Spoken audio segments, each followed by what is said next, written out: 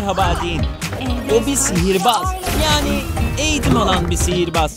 Hay aksi. Akıl hocası şapkada yaşayan bir tavşan. Huysuz ve yaşlı bir sihir eğitmeni. Gilbert. Bir yanda okul, bir yanda sihir dersleri. Bu ikili çok eğlenceli. Yeni dizi Sadie Sparks 2 Kasım'da başlıyor. Yeni bölümler pazartesiden perşembeye 17.45'te Disney Channel'da.